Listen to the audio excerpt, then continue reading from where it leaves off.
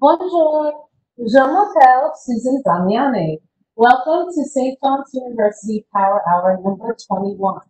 And I am so excited today. Uh, and I'll tell you why. We are here live at Bistro Eloise in Jackson Heights, Queens. This is our very first Power Hour that's live on location. And I have to thank uh, this gentleman sitting right next to me for making this happen. Uh, just like Kelly and Ryan, I was tired of virtual and I needed to go on location. So we're really going to immerse you in the French culture today with Vincent Caro, who's the owner of Bistro Eloise here in Jackson Heights, and also uh, Greg Bruhn, who's the director of our outbound program for the Office of International Education. And they are going to share their knowledge, their expertise, and of course, Vincent is, is born and raised in France. So they are going to share everything about wonderful uh, food and culture of the French people. And our actually our video producer today, Fabien, he is also French. So we're very French here today. Um, the other reason you're probably wondering, like, why did I choose the Power Hour, uh, a trip to France this particular week? Actually, we were supposed to be in Paris. St. John's has a travel program called the Globe Travel Program. And we were supposed to be in Paris. And obviously, due to the pandemic, we have to postpone our trip to next year. So if you didn't get an opportunity to sign up, it's not too late. If the health officials in St. John's give us the okay, we will be going to France next year in October. So with that ado, um, I don't want to waste any time. It's really today is going to be an escape from all this madness. And we are just going to have a fun, fun time. What also is unique about this power hour is it so happened that a couple of my friends happened to stop by the restaurant and they're having lunch with us. You'll be able to see some of them and they'll be included in the Q&A uh, for today. So thank you for joining us uh, virtually as well as in the restaurant today. And I'm going to turn it over to Vincent and Greg, and they'll begin our discussion of French food and culture. Merci. So, Gregory Bruhn, I'm the Director of Outbound Programs at St. John's University. I'm really delighted to be welcoming you to this Power Hour and to be joined by Vincent to discuss French culture, uh, French food, and a couple of our favorite regions, which are uh, Normandy and Brittany. Um, and so just a little background on how this will work today. Um, we're going to do a little bit of a presentation. I'll have Sue start the uh, slideshow in just a moment. Uh, and then after my presentation on Normandy, uh, Vincent and I will take some time to be in conversation and uh, have an interview about his life, about French food, and some of the delights that it uh, so with that, Sue, I'm going to have you start the presentation on slide one. So just a bit of background about myself. Uh, I became interested in France and all things French as a young student in Maine when my school started teaching French in fifth grade. Uh, and I went on to study abroad during university and had the great fortune to spend an academic year at Rouen in Normandy, the capital of Normandy, which we'll discuss later in the presentation. Uh, and there I also had the opportunity to live with the French family uh, for a year and really have a truly immersive experiences. And so one of the reasons I'm so passionate today about working in international education is because I recognize what a profound effect that year had on the rest of my life, both professionally and personally. Living in another culture, in another language, challenging myself to embrace those differences, I came to realize that on some level, there was nothing I couldn't do. It really inspired me to try new things, and I've since worked as a French professor at NYU, a translator for Norton Press, an interpreter for the Paris Opera Ballet, and had a long side career in catering, and I was able to work with uh, some famous chefs, including Jacques Pepin uh, and Jacques Torres through the French Culinary Institute. So New York, in fact, offers many ways to connect into French culture, such as this bistro, and today we'll focus a bit on a few regions and travel distance to Paris in the hopes of inspiring you cultural and culinary journeys in France. Uh, and so, uh, regarding the geography of Normandy, I have to say I felt right at home there. It's a pretty rugged landscape, very uh, similar to Maine. It's sauvage, as they say in French, with some pretty dramatic coastline, and in many ways, it reminded me of where I grew up. Uh, so there are many uh, incredible places to visit at a really short distance to Paris. And today, if you go to slide two, two uh, we'll start off in Giverny, uh, which is uh, Paris. Next slide. Then we'll move to Rouen, the former seat of the Norman nobility, a vibrant city along the Seine. Next slide, please. Then on to Dieppe and Etretat, two seaside towns with magnificent chocolates. Uh, next slide, please. On to Honfleur and Deauville, some of the most picturesque port towns you'll ever see. Uh, and finally, on to the next slide, uh, on to Mont Saint Michel and Saint Malo, located at the edge of Brittany and Normandy. Uh, these are two magical medieval walled cities defying the north of the Atlantic, uh, and where I personally discovered quicksand for the first time uh, in my life as a young man. Uh, so next slide, we'll start in uh, Giverny. Uh, so Giverny is an incredible little village nestled in the Norman countryside, known most famously for its painter in residence, Claude Monet, who lived there from 1883 until his death in 1926. Uh, his famous pink house is settled among a tremendous garden, complete with his lily ponds and laurel leaves, and the interior is filled with the Japanese art that inspired him in his work.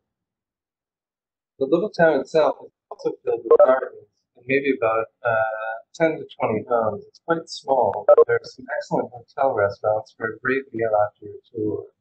Uh, I happened to be there in May, and the village was just full of irises in all its fields. Uh, next slide, please.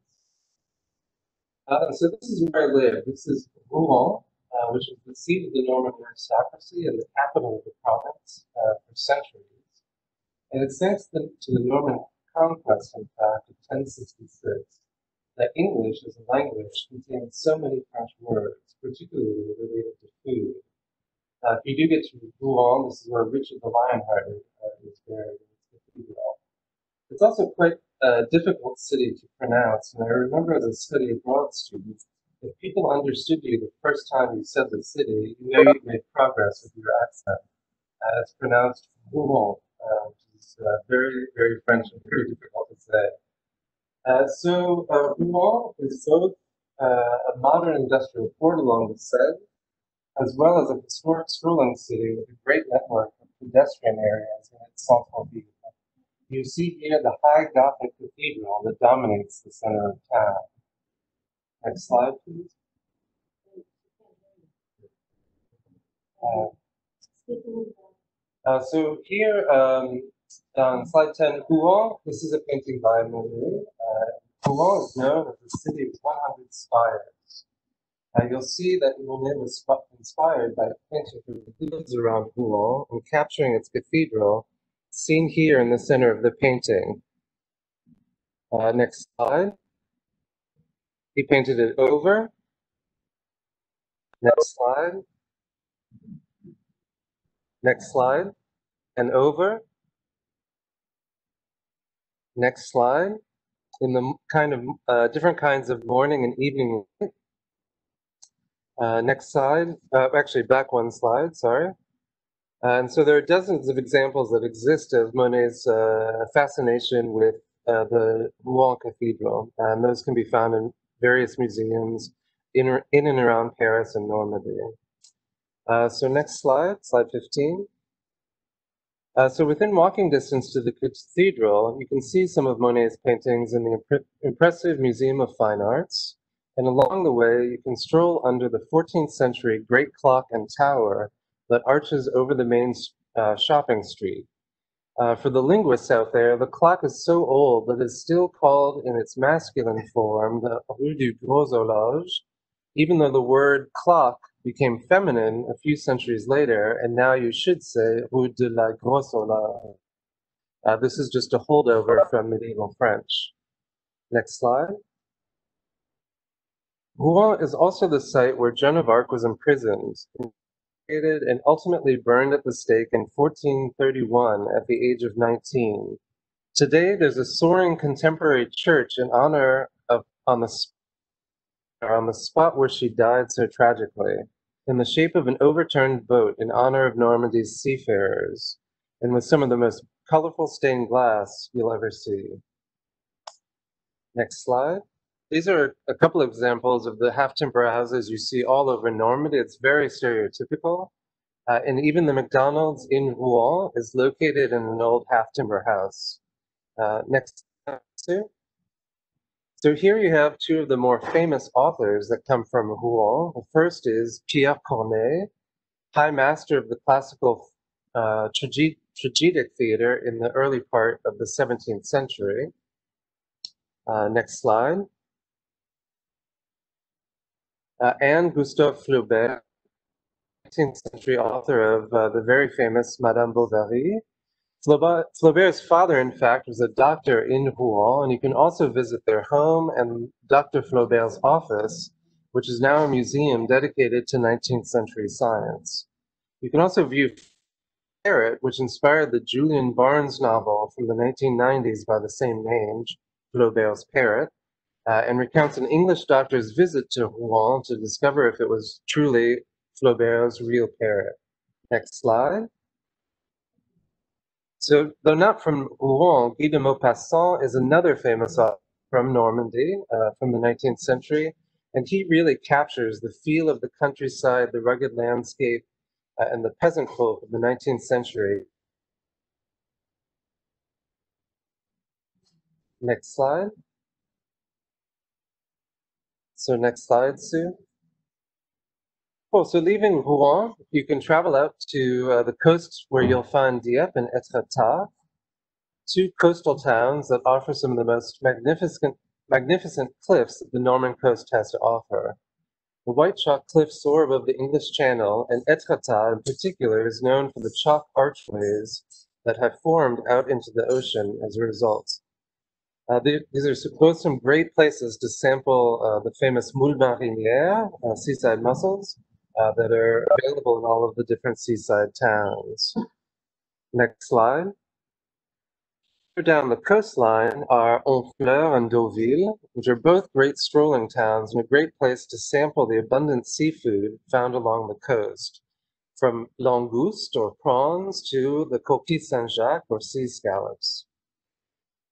Next slide, please. So just off the coast of Normandy and Brittany uh, is the awe-inspiring Mont Saint-Michel, a fortified abbey town built on an island. In fact, you can do the crossing of the bay by foot at low tide and, and with a tour guide, which is very important because there are pubs that the, it's a tremendous way to arrive to the abbey uh, and approach the island on foot. Next slide. Saint-Malo is another fortified medieval town along the coast. Uh, this is an incredible place to visit because it is in fact a replica of it.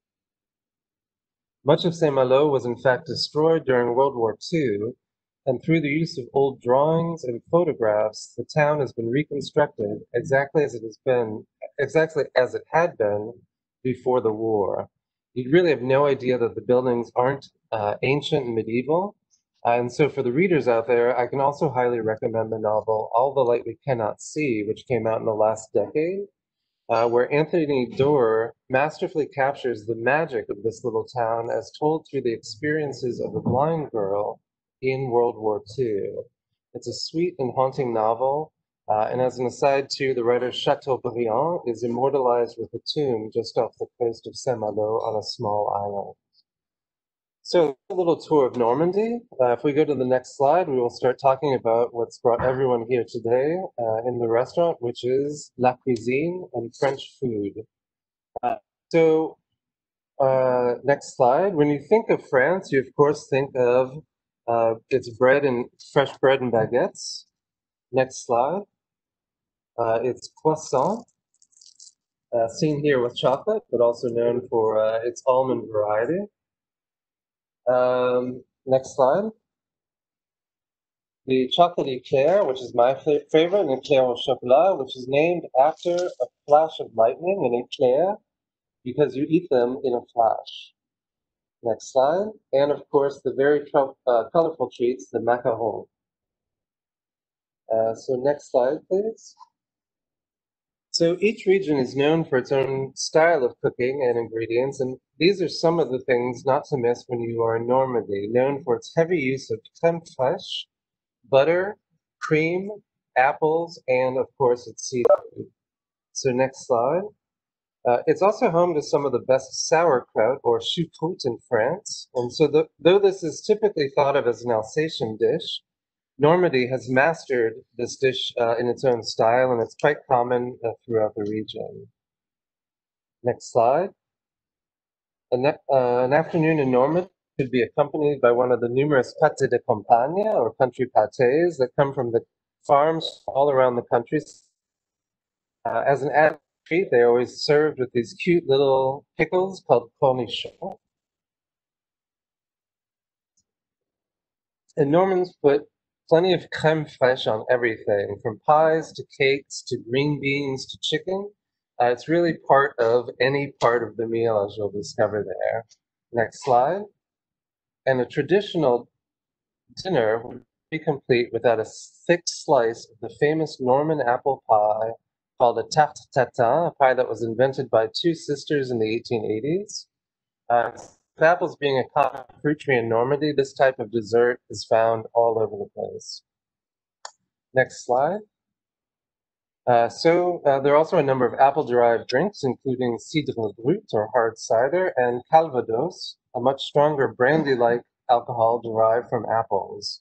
That's also where you get the expression trou normand, uh, which is a Norman hole. It's the shot of alcohol you take between courses to burn a hole in your stomach and allow for more room for your next course. It's quite a delight of any French meal. next slide, please. So Norman is also known for a wide variety uh, very creamy cheeses, a lot of triple creams, and no dinner is complete without a cheese course just before the desserts.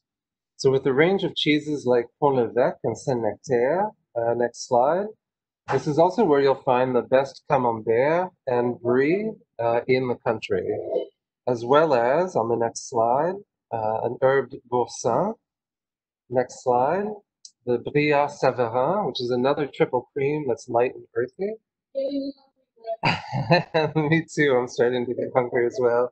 Uh, the next slide, as well as the Livarot, uh, which is a more intense nutty cheese.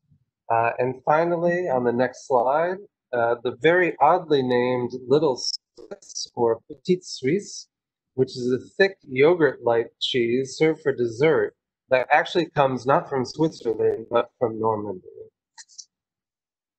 Cool, and that is the end of our presentation. Thank you so much, Sue, for running running through it that for us. Uh, so now I'd like to turn my attention to uh, the wonderful location that's hosting this event today, Bistro Eloise. As I said, I'm joined today by the owner, Vincent Caro. Uh, so bonjour, Vincent. Bonjour Greg. Um, so why don't you talk a little bit about where you're from uh, and tell us about uh, the region of Brittany.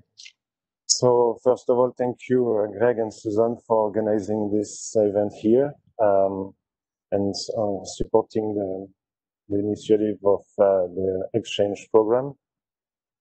And because um, I, I, was also part, um, when, uh, when I came to the US, I was part of the exchange program uh, in Orlando, um, Yes. in um, Epcot Center. I was working with um, for Paul Bocuse. So um, Wow. I uh, I recognize myself a little bit in this. Uh, In that story. In that story, I, didn't realize that you uh, studied it before. That was part of the exchange program um, I mean, working. Um, I was working at the. I was working for the for the French pavilion in uh, in Epcot. Yeah. Ah, interesting. And so you come from uh, Brittany. Um, Yes. Tell us a little bit about that province and how it compares to uh, Normandy.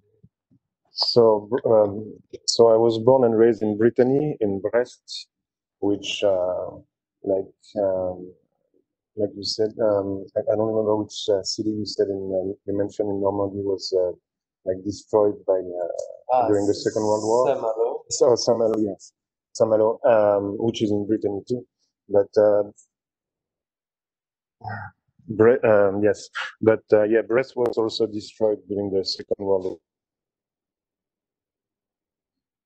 Uh, There's a lot of simili- similarities between uh, Brittany and Normandy, um, but I was born and raised more in the like down the the, the state, so near Quimper, which uh, which in, is in the Finistère, which means uh, the end of the world, because it's the west western uh, region in uh, the continent of Europe. Ah, yeah, interesting. So Yeah, and it is named Finistère, which means uh, the very end of the world. yes, And so is Brest on the coast or is it more inland? Brest is in the is a is an harbor, yeah. is uh, known for uh, being a military harbor. And so how did you um, come to uh, uh, discover your passion for food? What, what inspired you to participate in food? I mean, I, I first started when I was like 14 years old, and um, a, good, um, a good friend of mine had a, a- a good friend of my parents had a restaurant, and on the on the weekends and on vacations, I will go work in the uh, in the restaurant. To fir- first, it was like to make some uh, little pennies for the, to to buy some candies, but but then then I, I, I discovered like um, a real heart and like uh, like um, a- yeah it's a it, it's a passion to to to work in that in that industry. So and like little by little like I work more more often and um, and here I am Yeah, here we are Queens today. Yeah, I mean, France is France itself as, as a country has really mastered gastronomy. Each region is known for its own uh, different specialties. So, what's particular about Breton cuisine and the type of food that you ate growing up? I mean the main ingredient in the Fre- in the Brittany cuisine is the butter butter butter butter if there's no butter it's not it's not uh, Breton cuisine. Yeah, that's why Like- in in the in the crepes like uh, yeah the, the most famous dish from Brittany is the crepes the the, the buckwheat crepe. There's uh, also a kig ha farz which is like the Brittany version of like the choucroute Oh, but instead of like sauerkraut it's um, uh, it's buckwheat uh, pudding. Oh, so yeah there's we have the gâteau breton which um, we have some simple, sample here it's also a lot of butter butter butter butter Just like and the uh, croissant. like, like the croissant, yeah. Um, there's also like uh, cider, like um, we have a lot of similarities with Normandy, like uh, the, the crepes, the cider, like the culture, like we are like we are kind of like the, the bro- brother and like the brother states. Yeah. So I have a lot of family. My family is from Brittany, but a lot of them like moved to Normandy. So yeah, I recognize my, myself a lot in uh, in Normandy too. Yeah, it's true that there's a lot of butter in the cooking. I actually took uh, one other thing that you can do in New York City if you want to explore some French culture is to take a croissant baking class, uh, and you'll uh, never see so much butter go into one little pastry. Uh, it's remarkable. Um, and so, how did you come to Queens and uh, start working in uh, New York in the in the restaurant industry? So I, I arrived in uh, in the US in 2005. I spent uh, like six months in uh, in Orlando, and then I, I moved to New York. Uh, I, I came on a tr- like they call that back to back. It's like two days uh, two days off on one week, two days off on another week, and you can take four days to to uh, to, to take a trip. New York, I, I was like, wow, and uh, and I went back there and I said like, I'm moving to New York. And a month a month later, I was here, um, and uh, And were you working in the restaurant industry during that time? yes, so I I looked for I came and looked for a job. Someone gave me an opportunity. Told me like, you have two days to come back. I'll save you the job. I was like, okay, you will see me in two days. Oh, fantastic. and um, And so when did you open your first restaurant? I opened it in 2016. 2016. 2016. And that was here in Queens as well? it was it was in Queens uh, in Sunnyside, but uh, yes, and due to the so I, I had a short lease, so I had to find a, a solution to to to keep the, a restaurant open. So I met um, I met the owner of the bakery next door, Canal, Jean Claude, and um, and he told me I have a, a wonderful spot for you if you want, and uh, I I told him, give me two weeks to think of it. Within three days, I, I went back and I was like, I take it.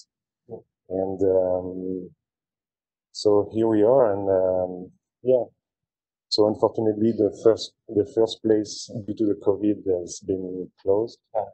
And um, So you've been able to keep this restaurant open? yeah, I worked uh, I worked harder and harder since the COVID to to keep this afloat, and uh, so far I, I can I can't complain. Yeah, well, it's a beautiful space. I've had the pleasure of coming here a couple of times in preparation for this event. Uh, and it's true, as Vincent said, right next door uh, is Canel Bakery. So you can not only come for your French lunch or dinner here at Bistro and get some pastries and uh, baguette to take home with you, as I will be doing after lunch today, for sure.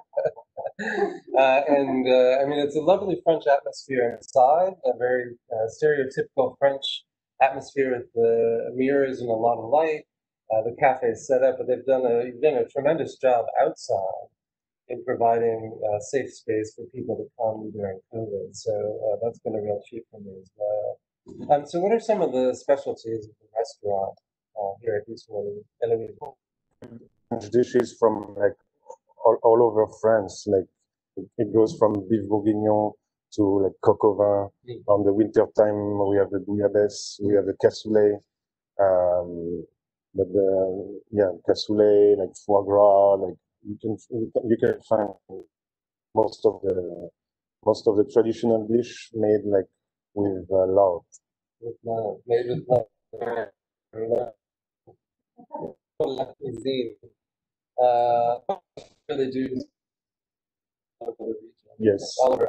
Yes, also also of course the crepes, like the Belcourt crepes and the and the sweet sweet uh, sweet crepes. Yeah, I loved learning in France that uh, generally see crêpe when it's a sugary sweet dessert, Yes. but galette, which is the buckwheat pancake, uh, which is tend, tends to be served savory, if I'm not mistaken. I mean, I, I, um, I believe it depends where you are, wh- where you're from, because like if you go in Rennes, which is the big city in, in Brittany, but it's on the east side of Brittany, like they call it the galette. But like where I'm from, we call we call, we still call it crepe. Uh, yeah. So I like too that galette is also the name of the stones that you find at the beach along the coast of. Um, no, that, that's galet. ah, That's, galette. it's It's not galette. it's a it, it's a G it's it's it's a G A L E T. Ah, okay, so I'm a bad French teacher today. I thought that was always the galette. Mon See, you learned something at the power. Exactly. We, we all learned, right? To continue to Even the learn. teacher. You get to continue to learn. Oh, so what is uh what's on the menu for today's lunch? For today's lunch, uh, we're gonna do like a little testing of uh, different um, of different lunch specialty, like uh, the crepes, the galette, Not the galette. Not the galette. the galette. and um, some uh, some house creations, like uh, different uh, different mac and cheese, like uh, lobster mac and cheese, because uh, Brittany is known for like the seafood, like in Normandy. Right. So we have like we have the, also like this uh, uh, coquille Saint-Jacques, which is the sea scallops, the lobster. We even have our own lobster, which is in most in most part of the world you only find the. I mean, you only find the the Maine lobster, which is the red one, Right. and in Brittany we have the blue lobster, which is uh, much. Um, it's uh, more. I, I I will say it's more tasty, more uh, more refined. Interesting. Oh, well, we both come from regions with uh, lobster itself in Maine, so Yes. the battle of the international lobsters. Interesting. Uh, cool. Um, So Susan, did you want to uh, take some questions perhaps from the audience now? So I hope you enjoyed uh, the discussion. Uh, We're opening it up to questions. Uh, You have these experts here. If you were planning a trip to France, now's your time to ask uh, all the great questions, and I'm sure they'll be able to give you some tips on uh, where to go and uh, restaurants and, and all that good stuff. But I actually, I have a question pertaining to that. So if I'm planning a trip, obviously we, I just told everyone we were planning a trip to Paris and to Normandy. Uh, if you only had a week, I mean, where do you go? What, like, what would you recommend as a trip to France if you only had one week? Brittany and Norman? Uh, Brittany, they're so posh. Biased. Brittany, okay, well, I agree, but yeah. No, no, no, I, I was, I was I know joking, but no, yeah, you can, I mean, either you can, yeah, you can do Paris, Normandy, a few days in Paris, two days in Normandy, a few days in Brittany, or you can, if you're more into like, uh, the terroir, you can go, you can do Normandy, Brittany, you can go to Bordeaux. uh, or even go further down into southern France, into Provence, down on the southern coast. There's a tremendous amount of villages and small towns uh, with great museums, a completely different architecture, uh, and that's where you'll find some traditional dishes and fascinating, uh, some of the more southern cuisine in France. Louis d'Escorce is also from the south. Yeah. Uh, really, you can't go wrong. I mean, wherever you go, you'll find a unique cuisine, a unique architecture, uh, and a lot to see uh, within a short distance. Um, you probably could use a month for sure. Uh, we have um, some some interesting uh, audience members that I, I want to introduce to you. Uh, first, we have, uh, if you've joined us for some of our power hours, you'll notice we have Chef Danny in the audience. Thank you, Chef, for joining us. Um, I, I invited uh, Danny because uh, he studied in France, right, Danny? And what would you like? Do you have anything to share for our audience about France or French cuisine? into the rest of this hour.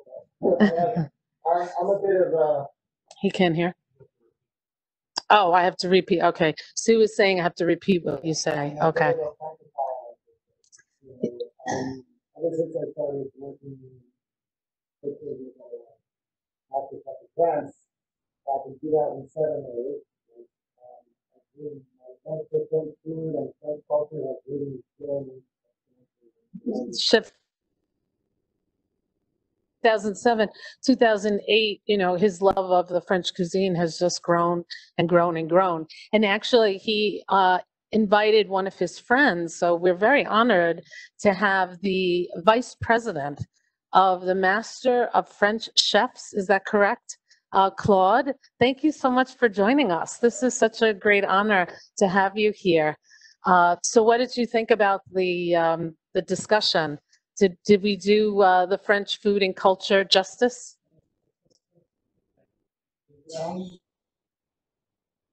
Here, come here, Claude. Come sit with us here. I'll put my mask on. Yeah.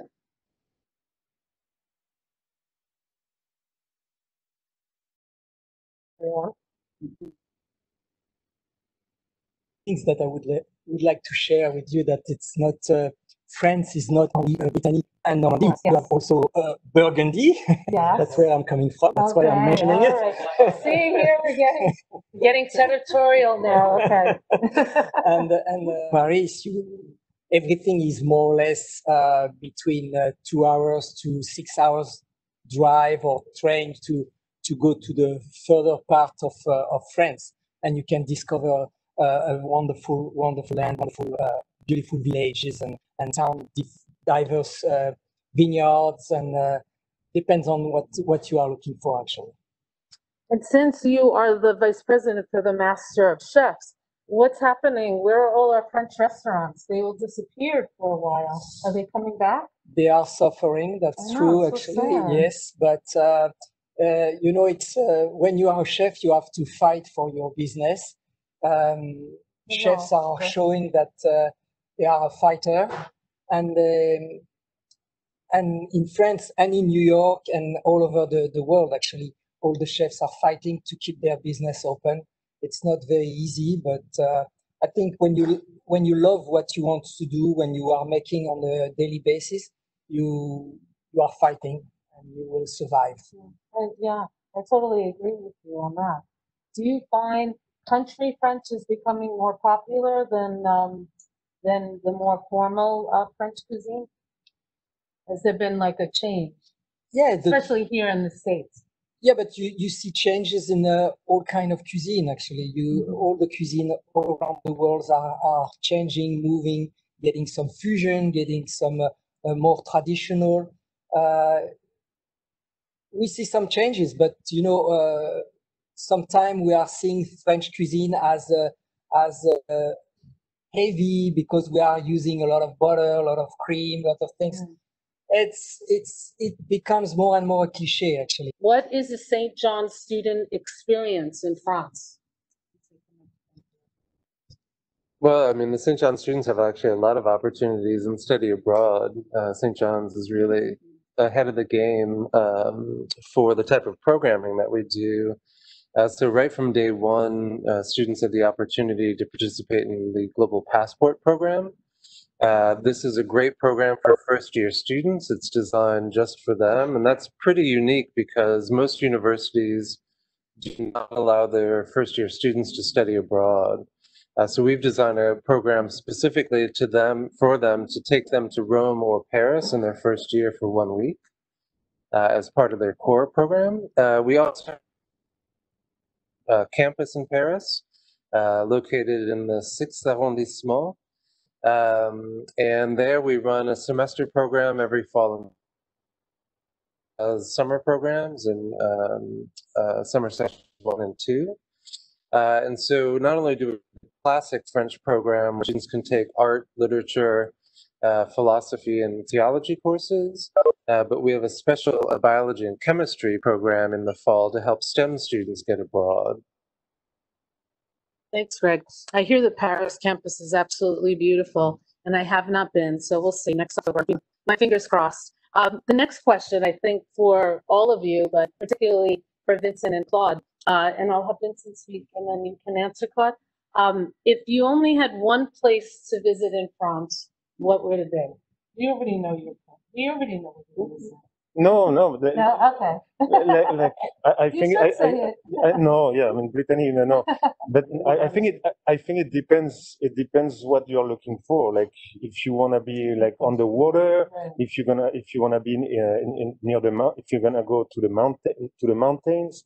Uh, I mean, there's so much diversity in France. Like Claude said, it's uh, you, need you need to to to pick what what what you wanna see, and then you can but there's so many places like you, like in Brittany you, you go to Saint-Malo you go to Carnac in the south where you have the Stonehenge alignment uh, like you go in the south you have the, the all the uh, medieval um, um, castles in Car- like Carcassonne you go to like I mean there's so many so many it depends what what what what interest you have in in the visit it's like, it's like going to the It's beach it's right. like, it's like taking a vacation, going, oh, I'm In going to the Europe, right? beach, or I'm Yeah. going to the mount to, to, to ski.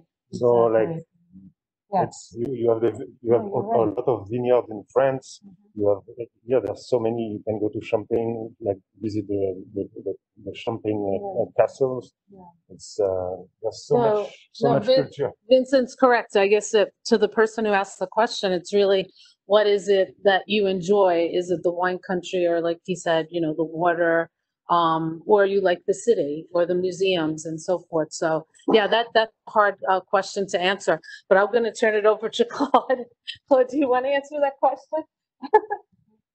No, I agree with Vincent. It's it's difficult to answer that. I mean, uh, if you have again, if you have uh, only two days, or you land to Paris, and you will see you will see a beautiful face of of, of France. Uh, if you have more time, then you can uh, you can cruise all, all, all around the, the the country. Um, like I said, I'm from Burgundy, but I love the Mont Saint Michel, for example. This is a it's it's uh, outstanding place. Um, and if I want to go for for wine trip, then I would go to Beaune. Beaune, it's- a beautiful s- small city. It's the How do you spell that, Claude? B E A U N Oh, E, and it's a it's a city where um, it's a small city in the middle of the vineyard, and um, I think that's where they are doing one of the most beautiful wine in the world. And it's uh, it's it's fantastic. Sounds beautiful. Okay, we're gonna go to the next question. It says, where in New York City can we experience French culture? Well, first, Bistro Eloise. Anyone want to answer that? Yeah, there's also there's a lot to do even this weekend uh, through the French Institut Alliance Française. There's, that often brings the uh, ballet, the Paris Opera Ballet Company, uh, and some of the main uh, theater companies out of Paris, like the Théâtre de, uh, des Bouffes du Nord. Uh, or uh, keep an eye on BAM, the Brooklyn Academy of Music, which also brings in different French companies. I live in Brooklyn as well. Uh, so if you happen to be on Smith Street around July 14th, they do a great Bastille Day party. Uh, and you can also, they close off the street and you can play pétanque. yeah. Uh, it's quite fun and uh, quite festive. Uh, and so those are just a, a few of the ways that you can participate in French culture in the city. Um, This uh, reminds me of a conversation the three of us were having. Vincent, you mentioned, you know, there are certain festivals, but there was one festival you were talking about yesterday that sounded a lot of fun in, um, in Vincent's hometown, right? It was a hometown? Your hometown? Uh, uh, near my hometown, it, uh, yes, there is. Uh, there, are- there, there are quite a few. Uh, I mean, there's lo- uh, there's a big fe- uh, like Celtic festival in uh, Lorient called Festival Interceltique, and uh, it, it's even broadcasted in uh, on the on the French uh, national TV. Um, it's like it lasts like ten days uh, in uh, August. Uh, there's also like there's a lot of like festivals over there. In Quimper, there's a, festival of the like uh, Cornouailles. It's uh, like like the they they wear the participants they they wear like traditional uh, Breton costumes, which is um, which is pretty interesting to to to see. And uh, we have also like uh, like the biggest music uh, music festival uh, in Europe, which is uh, called Les Vieilles like uh, like the big When big is sto- that? What time is it? you know? it's uh, like around it's it's the weekend after the uh, Bastille Day. So, but like Bruce Springsteen went there. Like this year they canceled it, but uh, Celine Dion was supposed to be there. There's a lot of like uh, big artists, um, and um, I grew up going there. A music man.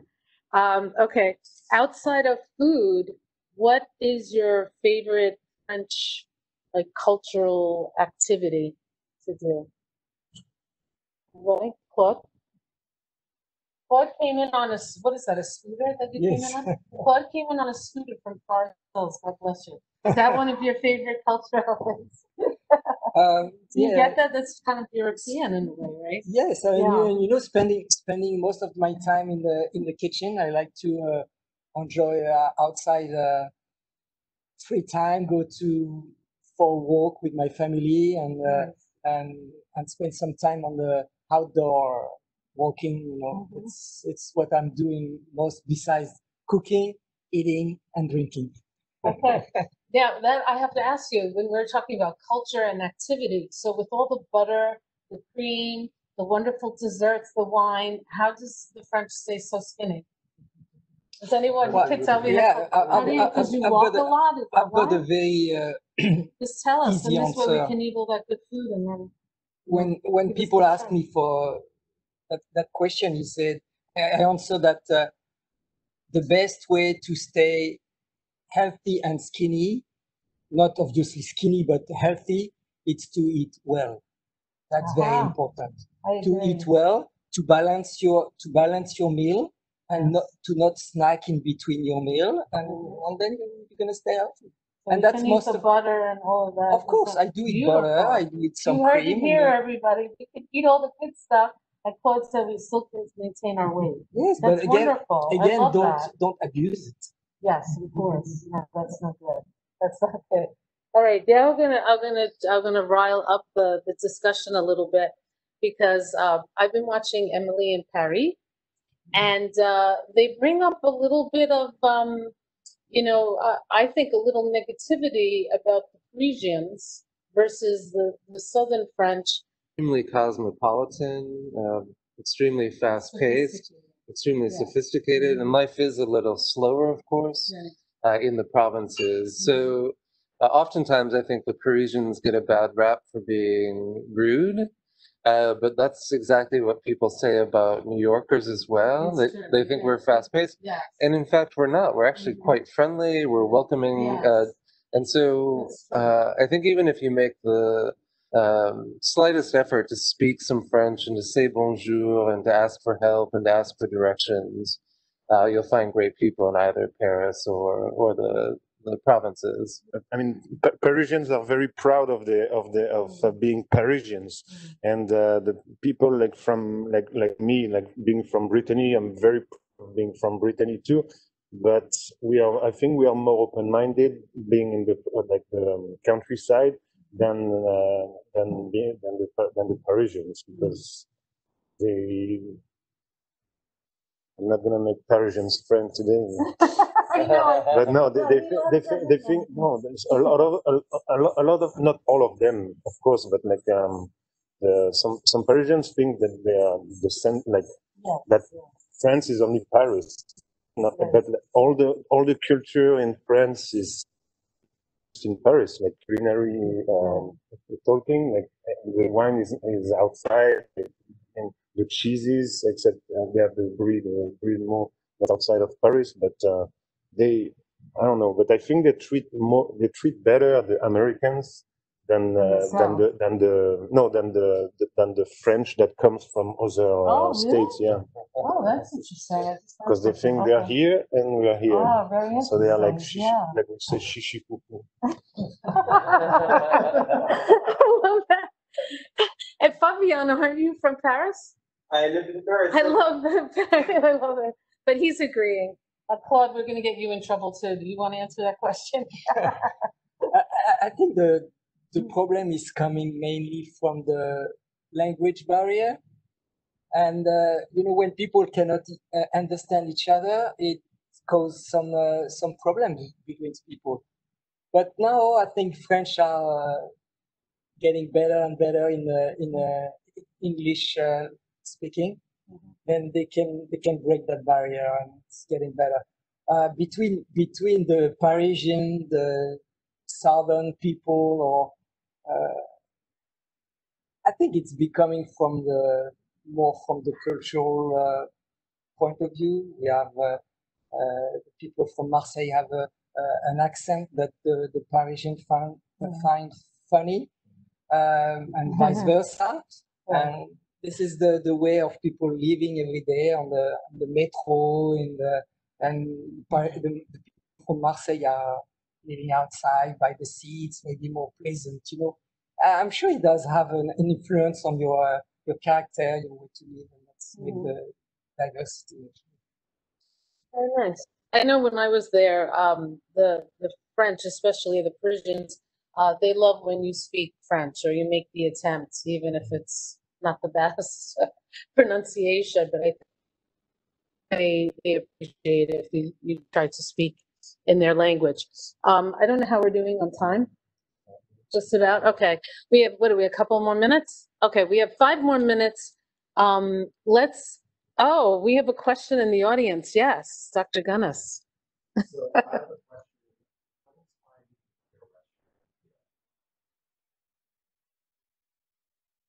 finding your I have a few restaurateurs in my family too, and um, I remember my gr- my grandfather when I was uh, like thirteen, is like four, uh, fourteen. He told me like, "Oh, I will uh, I will build because there was like a um, a bâtisse like uh, behind uh, his uh, like next to his house, and he was like." When you when you will be old enough, I will build you a restaurant. Oh, that's sweet. That's cute. I love it. Well, we have a couple more minutes. Can we squeeze in a little bit of um, French wine? what would you say is, uh, you know, if I'm going to buy some French wine, what's the best region to buy, uh, French Don't wine? ask me, don't ask me. Don't ask you, Vincent.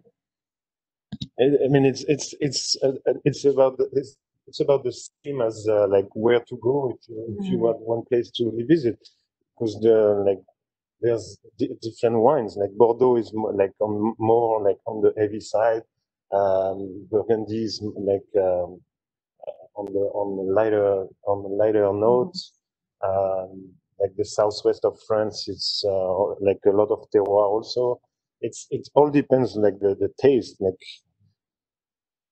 I think it's diff- it's it's difficult to to, Yeah, to pick one. varieties. So you just what you just need to pick. Though? What gets, is the champagne, is what the champagne region is the most, you know, famous? What makes you really, you know, well, I would say Burgundy. right, is I mean, I, lo- I lo- my Yeah. favorite my f- my favorite is uh, is Burgundy wines. Burgundy, yeah. but I can I can drink some Bordeaux. I can drink uh, some wine from the Loire Valley. It's like sometimes it, de- it depends on the like the the moment, the Right. the weather, the the food, the yeah the the Mm. occasion. So yeah, Yeah. it, it really depends. Right. Thank you. Well, I think we're we're out of time. Um, but I want to thank everybody who has signed on virtually. I hope you really felt uh, the French.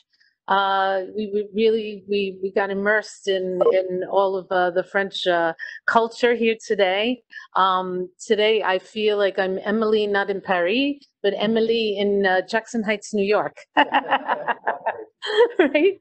Um, I love just to hear, you know, the way, even the way you speak the English language. It's so beautiful. I mean, the French language is is exquisite. And uh, we hope, you know, with the pandemic, as uh, Claude and, and Vincent have shared with us, it's really been a challenge for restaurant owners. And you can see Vincent, what he says about the love and all of that. Certainly, when you come to Bistro Eloise, it's the hospi- hospitality is just wonderful. And that's why I always like to come here. Obviously, the food and the wine is good, but it's it's really um, the people and the relationship that that you build. And um, it's really it's it's a nice experience when I come here and dine, you know, with my family. So I can't thank you enough. I mean, uh, he's supposed to be opening up in like two minutes, and we've taken over his entire restaurant. And it's been so nice. And Claude, he comes from a scooter all the way from Forest Hills to be with us today. Claude, that was so sweet of you. Thank you so much. And Greg, all the time that you put into your presentation, you can see St. John's is very lucky to have him as a teacher. And um, we St. John's really has an excellent international education program. So I hope you uh, learned a little bit about that today. So um, how do we end this in the French way? What should we say? Besides, merci beaucoup. Bonne journée. Bonne journée. Bonne journée. And bon appetit. I can't wait to eat the food. Sorry you're not here with us. Bye bye. Au revoir.